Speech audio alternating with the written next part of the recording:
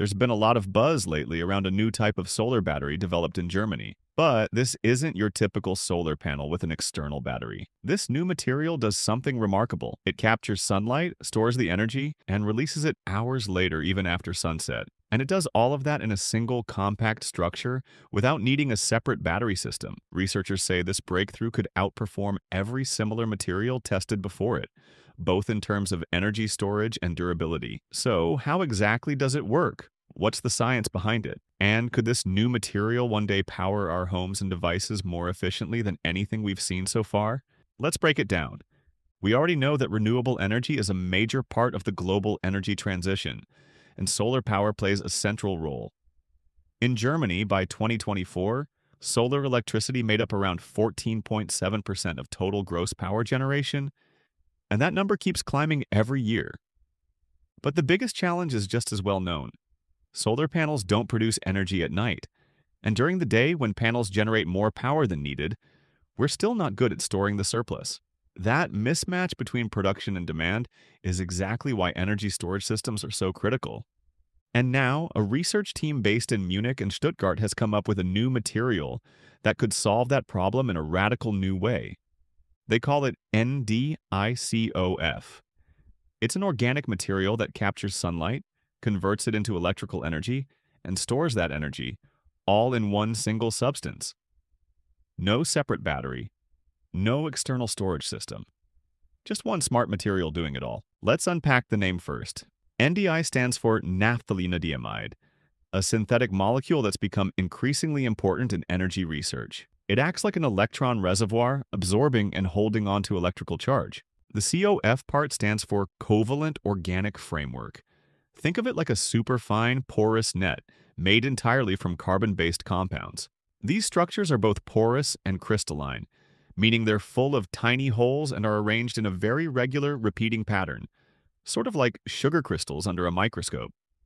In fact, under an electron microscope, the NDICOF material looks like stacked hexagonal rings. These layers build up into a 2D sheet-like structure, giving it a massive internal surface area. And because of the pores, energy can easily move through all those layers.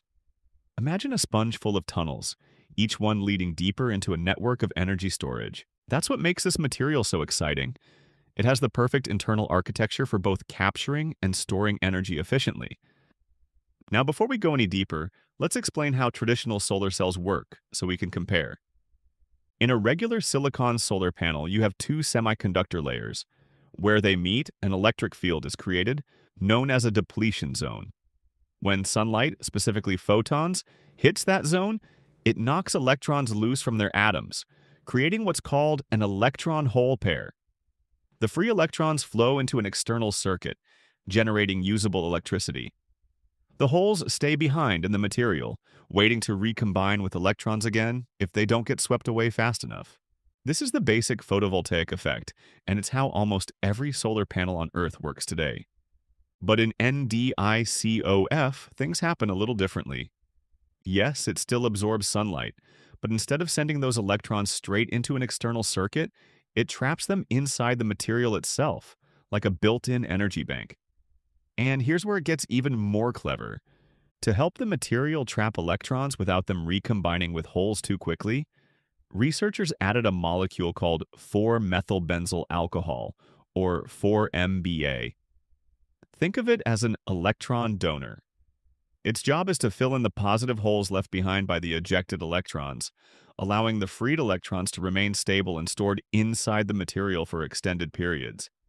This process creates what's known as a radical species, a molecule with an unpaired electron.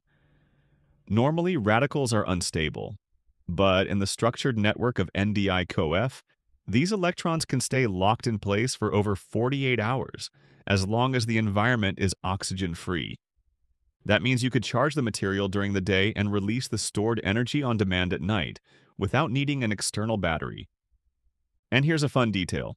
When the material absorbs light and stores energy, its color changes from yellow to brown. So you can literally see when it's charged. This leads us to a very cool concept in energy storage science, pseudocapacitance. There are two common types of energy storage, capacitors and batteries. Capacitors charge and discharge quickly, but they don't hold much energy. Batteries, on the other hand, can store large amounts of energy but take longer to charge.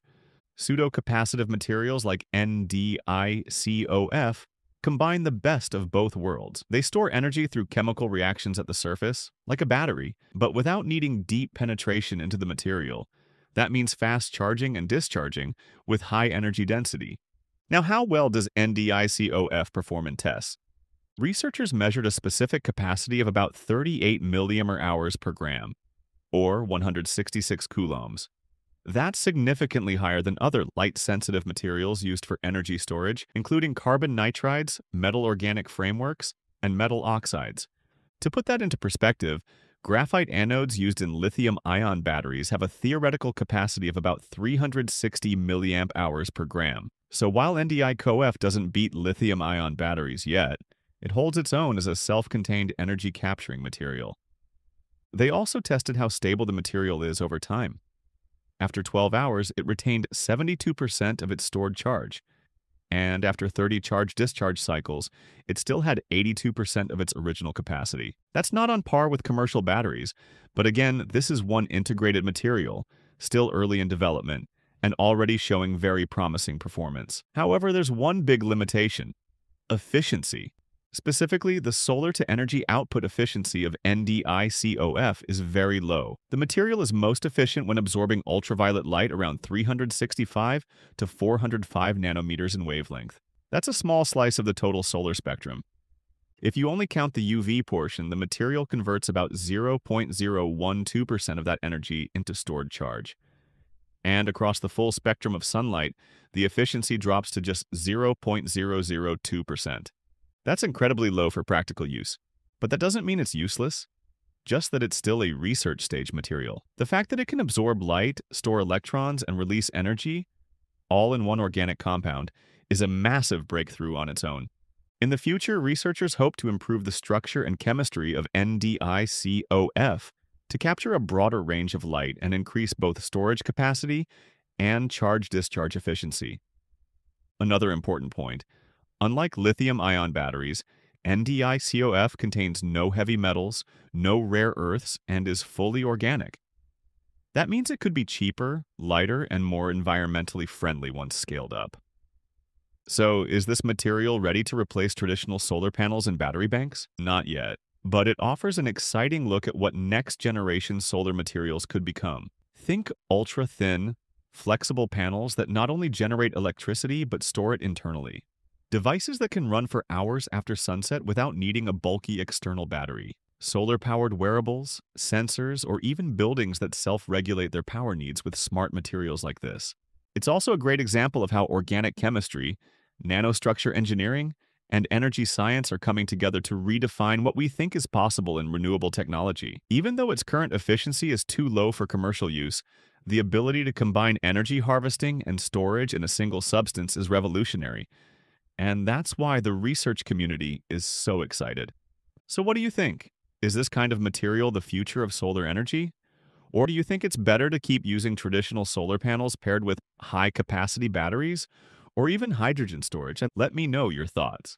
And if you're curious about alternative solar energy systems, there's another project in Belgium using solar panels to produce hydrogen directly. We've already covered that in a separate deep dive. Until then, keep an eye on the science because even low efficiency prototypes like this are often the first step toward world changing tech.